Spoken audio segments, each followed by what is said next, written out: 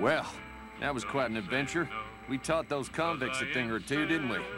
Breaking myself out of a hostage situation. Not to diminish your role in it, of course, but it was quite thrilling. Problem is, there's still no law in Primm. What are we to do the next time ruffians menace us and hold us hostage?